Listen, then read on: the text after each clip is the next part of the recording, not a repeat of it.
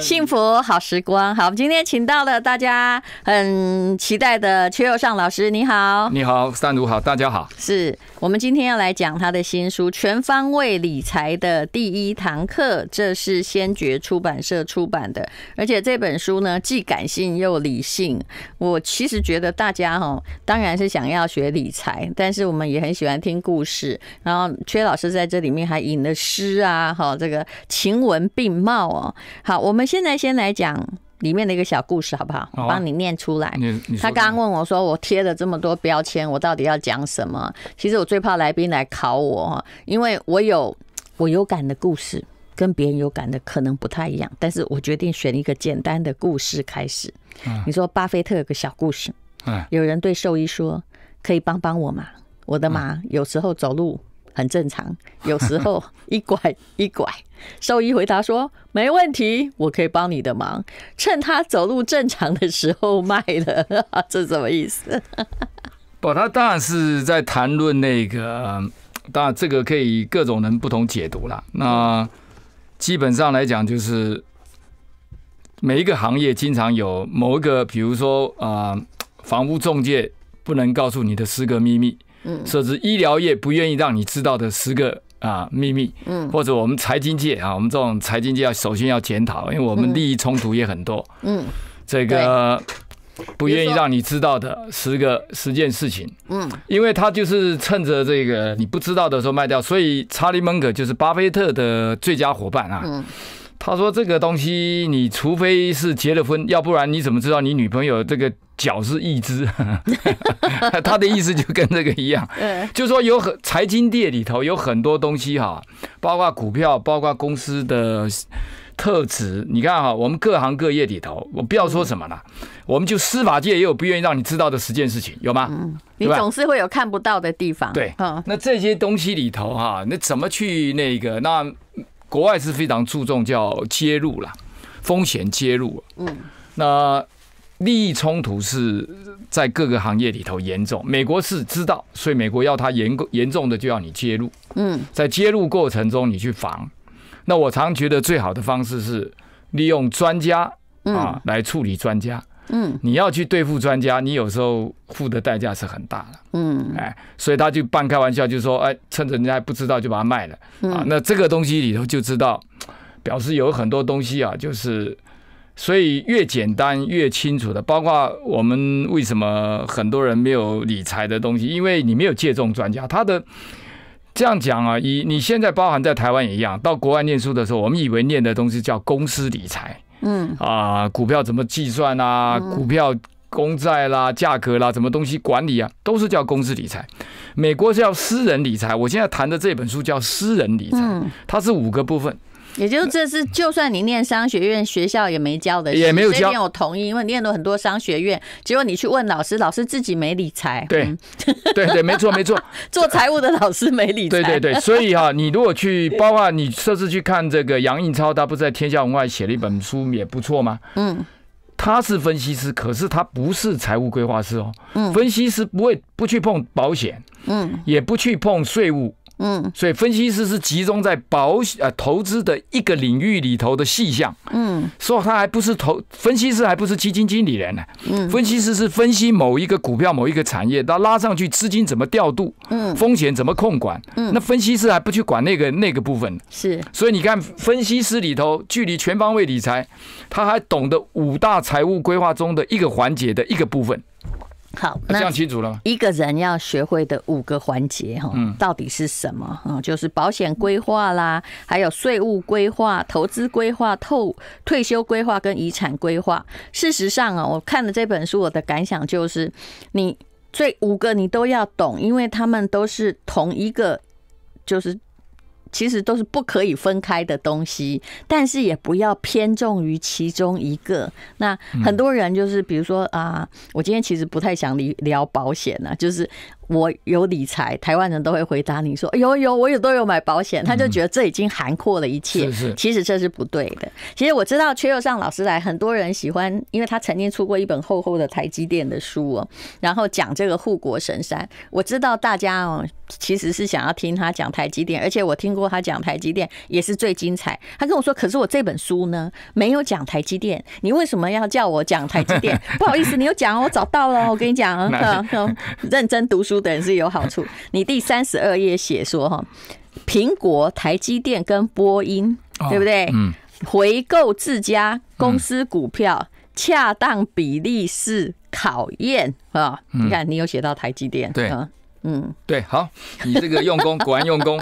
我最怕你们这种台大学霸型的，这个哈，那找重点真是厉害啊！因为没有，因为台积电现在跌到四百六十几，我都知道我们的听众可能没有四百六十几有，我刚才在外面一直在等，要买四百六十几、四百七了吧？你现在开始，哎，差不多六十几跟千几，今天早上有四百六十几，好吗？对，但是没有了，马上拉上去了。是的，现在有多少？哎，来，好，我等一下帮你查。但是我知道，各位，这是我们昨天得到的一个秘密，全友善老师自己猛补台积电，但不是。叫你买台积电啊？像我个人就是说我有台积电，但是大部分都是在零零五零里面嘛，也可以啊，也很好。对，因为我不是一个积极就是选个股的人，不管这个股有多好。嗯。那么，可是来，你告诉我们，我觉得你昨天有跟我讲的那段台积电理论，我觉得超精彩，已经到达信仰的阶层。而我们的听众，我相信大概有一半的人很关心台积电。来，这样子讲的哈，嗯，我今天要在想一个题目啊，就是你不要只听我怎么说。你要看我怎么做。嗯，四百七十三块，现在好吧？我刚刚在外面想下四四六级，放了几个四六，来你上节目之前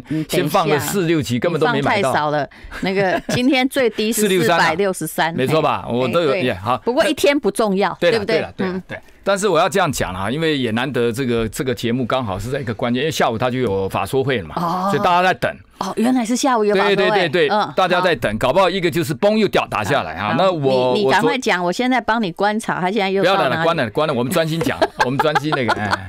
I like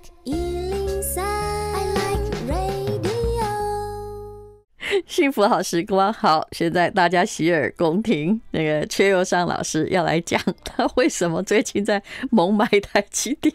不，因为哈，你我我常常讲，你如果没有投资哲学啊，你就不会有信仰。对，你没有信仰，你就不会有策略。我喜欢你这套理论。那你你没有策略呢，你就不知道你往下做的时候，你你风吹草动都都怕。我们看了没有？前几天上一个电视节目，我说台积电跌到今天四百三十几块啊。我说只能说明一件事，那主持人说那说明什么？我说说明你祖上积德。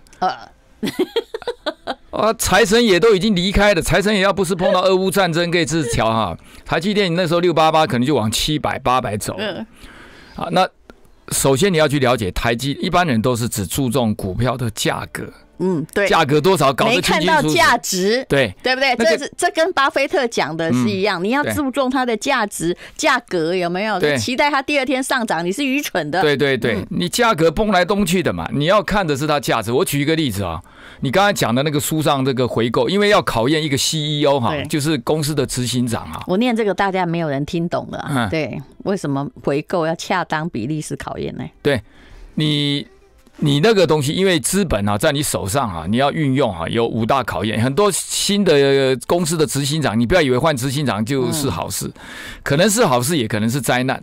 这个菜鸟执行长，巴菲特跟这个他的查理门口就讲说，我们公司最强的就两项事情。嗯，第一个呢就是资本配置，就资金里头我怎么让它走，它大概有五个方向的，把鼓就是给大家鼓励，大家以为以为鼓励高就好现象，鼓励高通常就代表哈这个公司的发展动力啊已经成熟了。没要再赚很多钱也没有了，干脆赚的钱就发给你。对，所以你不要以为股利高就是考公司哦，不是，那你是收益型，就是表示他的未来没展望，所以钱赶快发给你呀。对，宏基的施正荣老板就当时讲，他说我们犯的最大错误就是早期啊，宏基赚了很多钱了，太早发的股利发给大家太多了，等要转型的时候才发现哇没钱啊，嗯，所以麻烦了。所以你不要以为鼓励发很多就好事，这是第一件事。第二件事情呢，就是所谓的研啊这个扩大产能。嗯，你不要以为扩大产能也是一件，那也是高学问。台湾的股票有一个叫陈红，是拿过股后的。嗯，啊，我印象之中不是股王是股后。啊，苹果给他下单的时候，触控技术啊，这个痛起来拱起啊，马上就扩大产能，等着苹果第二年的大单。对，结果苹果第二年抽单，这个技术啊，他根本没有确定一定要。嗯，哇，那个厂房一百多亿，陈红拱起啊。所以你不要这样列损失哦。呃，可能是列损失的，大概内内棒把陈红打的七晕八素。对未来的投资过大也是错的。呃，不好，所以待会我们就来聊台积电为什么这方面我们没有隐忧。第三个哈、就叫回购公司的股票，就你把公司股票买回来，当然好处，因为本来是一百个股东嘛，现在买回来变九十个股东，赚一样的钱，九十个股东分，大家嘛都更高兴，所以盈余会跳上来。嗯，所以盈余会跳上来。那所以回购公司的股票，可是它也是毒药哦。你买太多的时候，就像波音，波音在新冠肺炎之前呢、啊那个董事长、总经理为了刺激的盈余，让大家看起来好看，买了很多，结果呢买过头了，这结果新冠肺炎来的时候，哇，现金的那个油库的预备存量不够。嗯，崩要拱的，就像我们很多人做股票，用融资或资金控管不当，这个都要来做一点点类似的比喻。倒掉哎、它呃倒掉全世界完蛋，它跌幅高达七十九趴。不，那个时候是跌很重。那哦像美国政府要求纾困，嗯，政府要割他的肉，他说啊不行，那我自己去找钱。我的意思就像现在今天很多人的资金控管啊，哎，怎么子弹打光了，用融资被断头了，嗯，这个地方就像。你资金的控管不当，所以各位不要小看资金控管是一个是一个哈，不是干过执行长，而且资深执行长没有的经验。好，这是第三个股票回购，嗯第四个我们叫研发。嗯，啊，研发是一个好现象，那但是研发也不容易，像辉瑞药厂。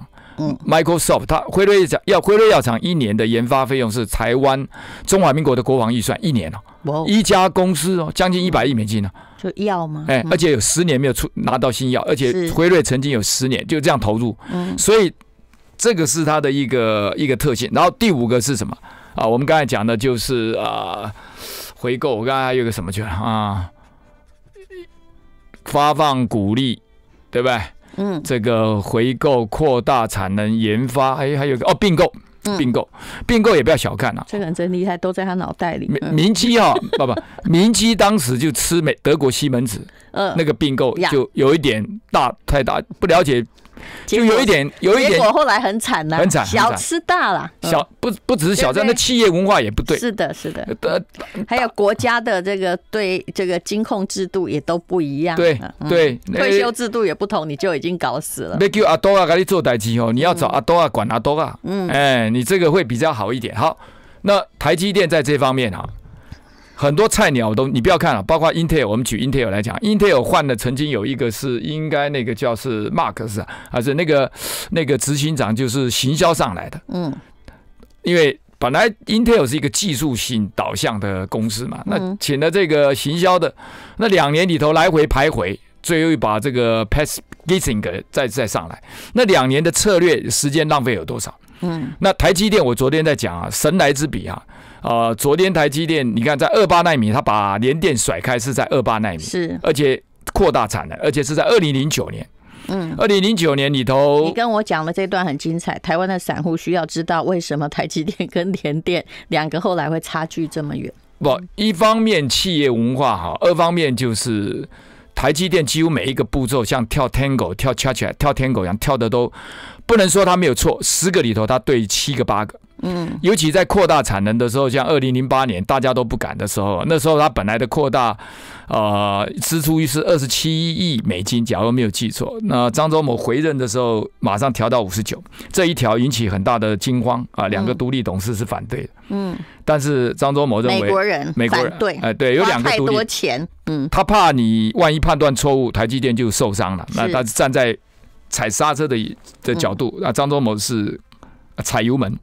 啊，最后呢，张忠谋说：“我是董事长，你要考虑到我是董事长，你必须遵守。好，那我为什么要讲这一段？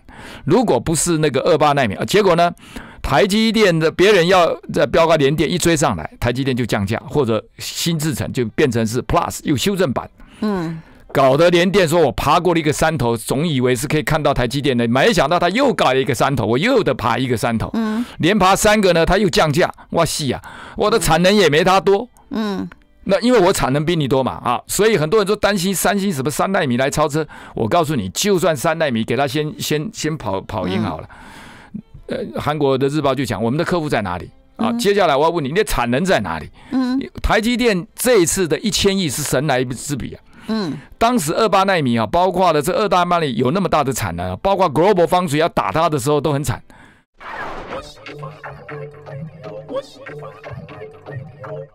好，这个台积电下午法说会嘛，刚刚讲的一千亿哦，台积电的一千亿怎么回事？可能大家没有搞得很清楚。也就是这一千亿是美金啊，对，是台积电的资本支出，他们又要开始花钱了，花钱扩厂啊，哈，花钱增加产能啊，呃，或增加它的呃，就是。在它研发上更加进步，嗯，不只是开始了，已经进行了。大家没有看到这个啊，所以我说很多人都只看到价格，没有看到价值。我就刚才讲一下，他花了这么多钱，为什么我说刚才那个 CEO 都会上来，都会犯那么大的错误？那台积电会不会比较小？嗯，几率小很多。光这一点，大家就应该。值得来看，为什么没有？我观察过那么多公司，很少有 CEO 刚上台啊，可以用到一千亿美金的支出。一千亿美金，大家是什么概念啊？各位，他在二零零九年的时候，五十九亿的美金。那个时候已经是，那时候已经是吓得不得了，把二八纳米这个都都都几乎把对手给击溃，五十九亿，五十九就被反对了，现在是一千亿。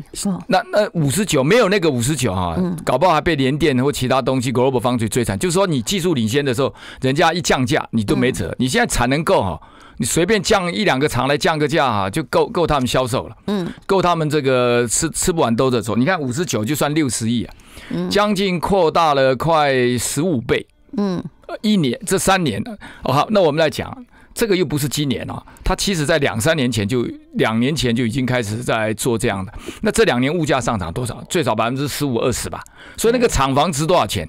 嗯，光看这个就不得了，光看这个厂房你就知道我 get 大的。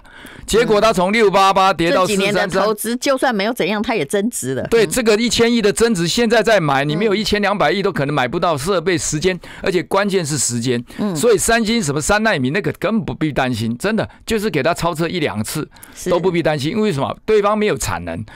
而且台积电是个服务业，没错，哎，它是一个配套措施的服务业，对，客户都深感满意，因为他会跟客客户，其实他的客政策就是跟客户共荣，而不是只卖晶片给你。对，漂亮，你知道哈，你这句话可以引申出什么？嗯，这个后面的部分是二十年前张忠谋，你看在两千年的时候，嗯，台张忠谋就很生气，搞什么鬼，都还是一直在忙着制造，台积电要转型成客户的服务型工。所以台积电说，前十年我们是制造厂商，嗯，后十年我们要开始转型，这个转型不容易，所以它是转型到以客户，所以它的各个伙伴他们都叫做像你刚才讲的，就是 strategic，我是一个策略性联盟，我不是有产能，然后哎卖你多少多少，而不是这个产能的拟定，我要盖厂的速度，嗯，都是跟我的 partner，他叫做我的合伙人一起研究拟定出来的。所以这是以完全不一样。你如果都不了解这个后面，包括你刚才讲的那句话，那句话就是杨爱丽在访问张忠谋的策略传奇里头，嗯，就讲的一段。所以你如果不去看二十年前是那本书的整个的细节描述，你就不知道台积电。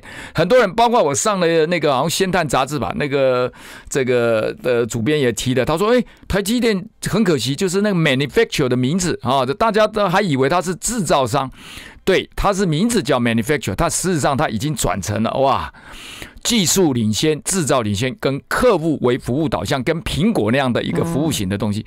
这些如果你都不知道，你怎么知道台积电的价值？是。然后第二个，我再补，刚才把那一段讲完。是。刚才讲那五大策略里头，新的菜鸟 CEO 没有这个经验，那我怎么一上来我敢动用一千亿？那么给他吸朗一千亿是要三兆哎。嗯。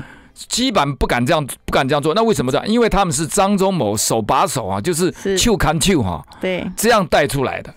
光是刘德英跟魏哲嘉，你去看他们两个的合作时间超过十八年了。是，你自己在在变两个合作之前就已经十五年以上之间的关系，然后加上是张忠谋这样一批带上来的啊，这种这种功夫啊，大概是我看过很少有一家公司，就是说 CEO 的就执行长的培养啊，是这么。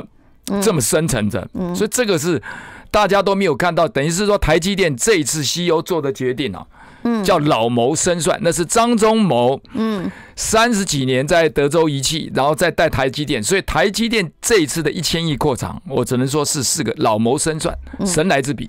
我们今天不要一直集中在台积电，但是啊换个位置你等一下，你可以告诉我们啊，这些魏哲家这些新的这个领导阶层啊，你昨天告诉我那个很精彩，你说现在四四百七十几块电视的那些股市老师就在那边喊两百喊三百，你知道他们这些新的领导阶层自己买公司股票买了多少张多少钱吗？对对对对，你看这个是新闻啊，这也不是我我我自己去找的啊。请大家注意这个新闻。这个新闻啊，就是魏哲家吧，假如没有记错，买了两百三十六张。我不知道你电你现在听众里头有没有谁买两百三十六张的？没有太贵了，哎，太贵，两百三十六张到一亿多。各位要不要猜他买在哪里哈、嗯，哎，所以还有人喊那个三字头、二字头，我觉得我看可能他会昨天他叫我猜的时候，我猜在五百五啦。哎嗯五百九十七块六百。嗯，而且呢，他的副总，台积电的副总啊，其实就已经是那个部门的总主管了。所以台积电的副总有时候出来哈、是到别的公司当当 CEO 的。嗯，他的副总其实就是那个部门的最最主要的领导者。呃，何立美应该是买了大概七十八张，嗯，然后他的副总，另外副总应该是罗维仁吧，嗯，买了八十二张，几乎都在高五百多的高档，六百多块，甚至六百多还有人买的。我现在讲的是三月份开始，嗯那在之前买应该就有六百。嗯所以各位哈，如果你不了解这个东西啊，我认为哈，我是这样讲啦，我我是很诚恳的。如果你，我建议你先去把我去图书馆把我那本书看了，举凡天下杂志，任何现在杂志，还有在卖啦。哎哎，不图书馆到到图书馆去借了，那叫卖好像这这好像叫你买这卖书，我其实也没有无。所谓，我帮你讲。不，或者或者站在成品书籍看，如果有赚到钱，你再回去帮他买两本。书大概五百页，很难 站在产品书局看。没有了，五百了，没有那么多了。好，我简单的讲啊，台积电这次股灾你不要浪费了，你买零零五零也可以了，我觉得也不错了，买零零五零也很好，因为有几乎有三分之一半了嘛。嗯但是台积电你这次浪费，这次股灾浪费掉，你会很可惜嗯啊。，好，那我们现在，哎，来，你台积电讲完了没有？那我就最后一句哈，嗯我认为一般小资主啊，如果你有够信仰，台积电这一次应该要让你赚赚的金额应该用嗯用百万来起跳，嗯，中实户应该用千万起跳。哦，你不相信？你过一阵子来看，我讲七纳米，I like Ealing Sound. I like radio. 幸福好时光，好，刚刚讲到了啊，其实零零五零里面有很多台积电，你也不要去买个股，像我就不是一个个股的支持者，对我而言很麻烦哦。那么，呃。你一定要学会，这是这本书是先觉出版社的全方位理财的第一课。为什么你一定要学会 ETF 加资产配置？我们今天的主题，嗯，来，你看哈，这次股灾很多人就知道依依累累啊，对吧？嗯不管零零五零或台积电什么的，但是呢，ETF 我们简单来讲，它是共同基跌两跌不到两成，嗯。啊，共同基金呢，它是它是两个混合，它的性质呢本质像共同基金，嗯。但它的交易是在证券证券交易所交易，嗯。所以在叫做 ETF，叫英文的话比较容易懂了，它叫 Exchange Trade Funds，就是在嗯证券所交易的共同基金。你说他有人面狮身的特对质，它有两种你这，样解释大家比较容易懂。人面狮身啊，就哎面脸蛋像人，那身体像狮子。他就是说，它是共同基金跟股票交易的混合，但它不是股票，它是共同基金。那为什么用它呢？你买零零五零呢，就等于是台湾五十大企业啊，嗯台积电八万元八万个员工，中华电信、统一企业啊，那最有经济竞争力的，对不是台湾股息最高的，对因为股息不能判断什么嘛，对嘛？嗯所以台湾最强的在竞争力一直在，因为啊，为什么它不达到那个不再成长，它就会被踢掉。嗯，啊，这五十个里头，比如说宏达电哦，嗯成长停滞了，它就被五十台湾零零五零踢掉。嗯所以你买这个啊，就等于是买台湾经济了。嗯所以你不必担心这个，不然你买美国的标普五百也可以。好嗯，这个先确定，你先要有 ETF，先不必去碰个别股票。你要碰个个别个别股票也可以，先学会这一招了嗯啊。然后第二个呢，就是加资产配置。资产配置就是现在大家发现，就是说你如果只有零零五零，你没有防守，股票下来你也是也是也是会跌嘛。是所以最好就是你加上一些防守。那防守我们上次讲过，就最好是跟你的年龄搭配，那你再来微调。嗯比如说这个三十岁的人呢，你的或四十岁的人，你的公债持有啊，防守部位就四十嘛。嗯五十五十岁的人防守部位就五十。嗯那你这样子就是一涨一跌嘛。那这一年股债双杀，股票、公债都跌，但毕竟公债跌的幅度还是低。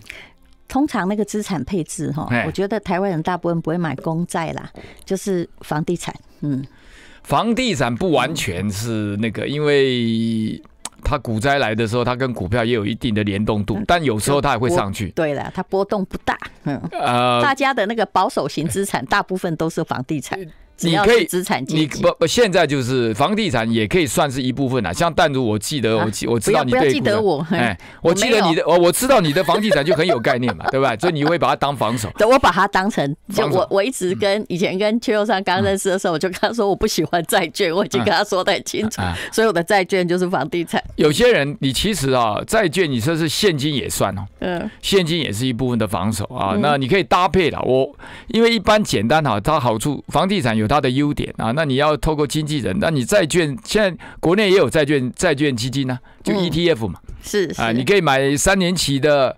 哦，一年期、三年期、十年期的美国政府公债也可以啊，嗯或公司公债，哎嗯，花一点时间哦。